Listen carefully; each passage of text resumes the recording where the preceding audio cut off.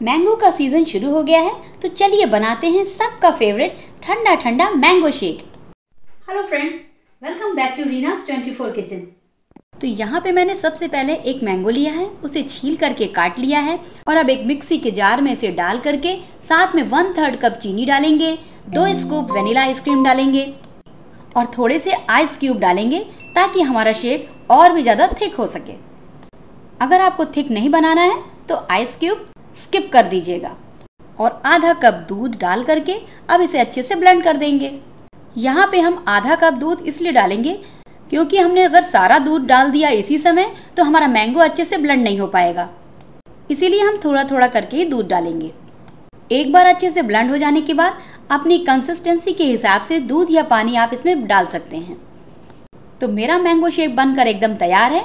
अब एक ग्लास में इसको डाल करके ऊपर से वेनिला आइसक्रीम का एक स्कूप डालेंगे और इसे सर्व करेंगे। यकीन मानिए, जब वेनिला आइसक्रीम के साथ मैंगो शेक का कॉम्बिनेशन बनता है तो इतना अच्छा लगता है कि मुँह से हटाने का मन ही नहीं करता है। आपको ये मैंगो शेक बनाने का तरीका पसंद आए तो इसे ज़्यादा से ज़्यादा लोगों को शेयर करिएगा।